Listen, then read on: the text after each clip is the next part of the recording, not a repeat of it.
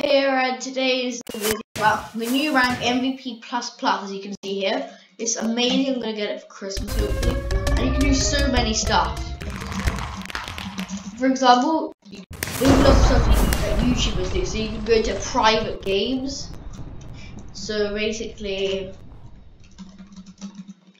um so if you go to a sort of insane game or something, then you can see how many people have it on the leaderboards here. But anyway, um, yeah.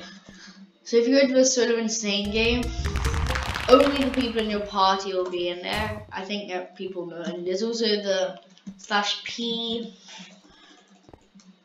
the slash stream command where you can do, you can do parties where if you just type slash p join, let's just say he has stream pod right now, um, then you would automatically join. You can also do slash Nick, but it's a bit of a downgraded version.